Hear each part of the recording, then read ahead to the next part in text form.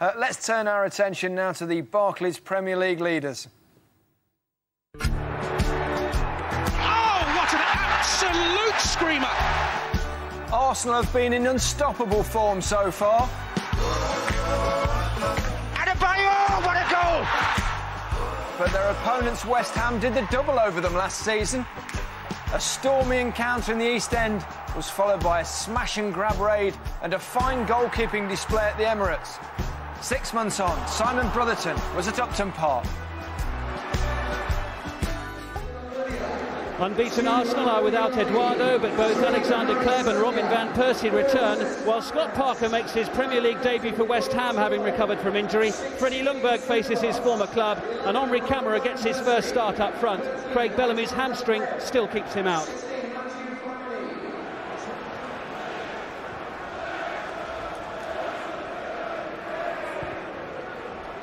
Oh, look at that for a pass from Van Persie. Abu Diaby now. Early pressure from Arsenal. And the shot from Adebayor.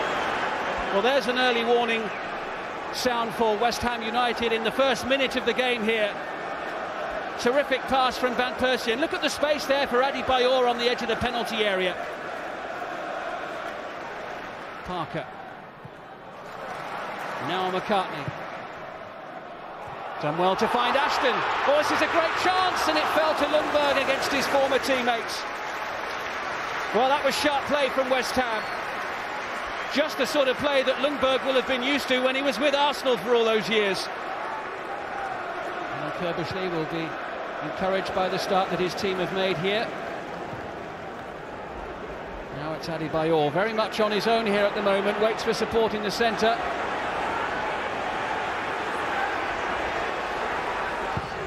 This is Hleb in towards Van Persie. Arsenal are ahead with 12 minutes played, and it's Robin Van Persie.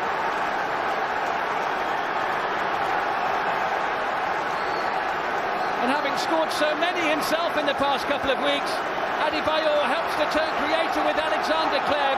Van Persie got there in front of the defender.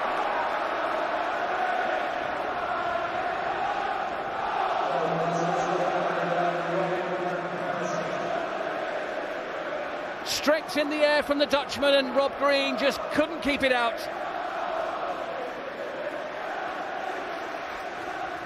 Arsenal failed to score against West Ham home and away last season. It's taken them 12 minutes this time round.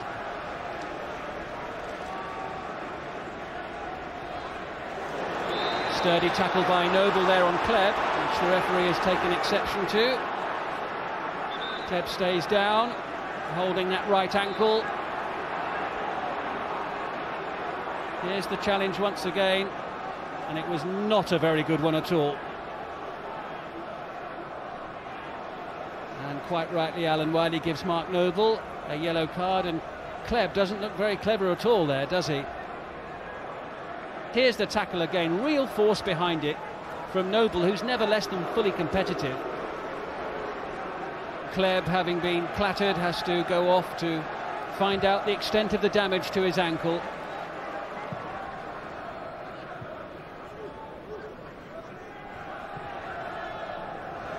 Flamini, oh look at the space he's been afforded there by West Ham United. Flamini forcing the save.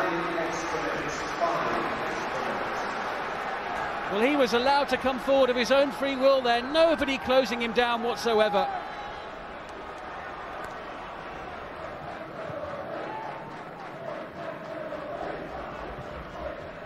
Eboué now, looking threatening. Van Persie! Oh! West Ham saved by the post!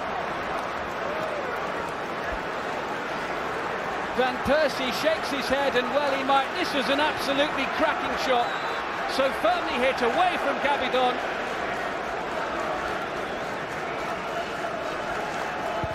Green, I think, may have actually got a fingertip to that. Noble looking for Mullins. Senderos steps in. It's fallen well here for Lee Bowyer. Ashton with a chance. Oh, it was a good chance. It was the best one West Ham have had today. It was one of the only ones West Ham have had today. Look at that. Straight at Almunia.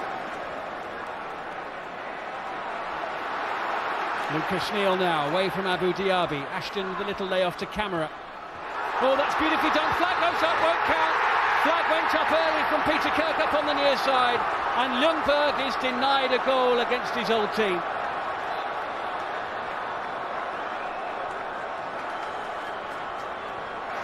As it is played forward, Ljungberg, I think, is just onside.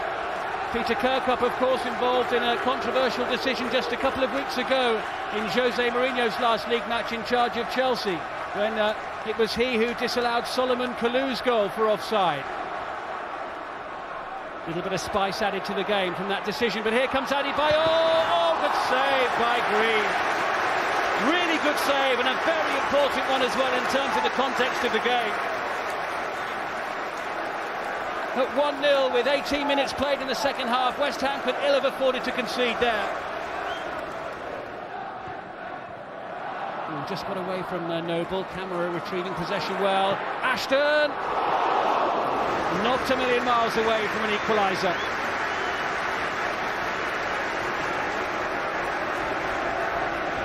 Winning the ball back and Ashton trying to seize his chance.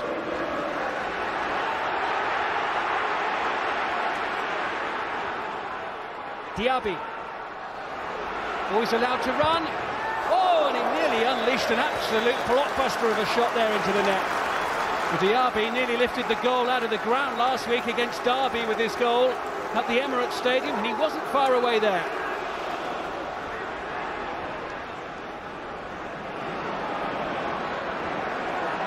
Diaby and Fabregas combined to dispossess Lucas Neill. It was good play by Clichy there to just thread that ball through. Adebayor just in, didn't quite go out. Looks promising here for Arsenal. It's Clichy! Oh, and a save again by Green. West Ham's fans are complaining they feel the ball had gone out on the Arsenal left. Adebayor just about kept it in play.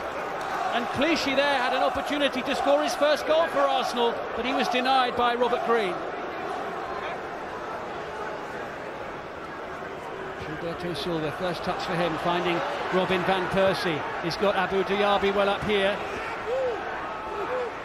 Just looks for an opening which just clearly isn't there. Eboué now. Really dangerous moments here for West Ham. Flamini! Arsenal so close to a second goal. Heavy pressure in and around the West Ham United penalty area. Flamini lets fly, and it just takes a little deflection there. You feel the timing of the goal from Robin Van Persie so early in the game helped you a lot, though, because it really seemed to suck the atmosphere out of the crowd, for one thing. It did, and uh, it gave us confidence to get out of the back. And uh, then uh, I feel in the second half we were even more bold to come out and uh, close them down in their half. And from then on, uh, it looked like we can always score a goal. But uh, you know, West Ham is dangerous. We have good players. We were home, you know, so uh, that's what disappointed me. I went on about it half time and I've gone on about it afterwards because the start was the most important thing. We let a goal in after two minutes up at Newcastle. Uh, the weekend and uh, having to chase that one, and we've done done it again today. There was a very close call on the Freddie Ljungberg goal, which was disallowed for offside, and it looked as if he might be on. Yeah, we, we, I think he's definitely on when you see it. There's no daylight uh, to be seen, but uh, you know they are tight things and close things, and um, you know we didn't get it. And uh, the stage of the game, I think if we would have got it, we was back in it, and it was all to play for. How's Alexander Hleb? It was a hefty challenge from Mark Noble. Uh, very, very uh, difficult challenge, and uh, you should see his leg. It's very bad, in a very bad shape. We don't think it's something broken, but uh, certainly will be out for Tuesday night.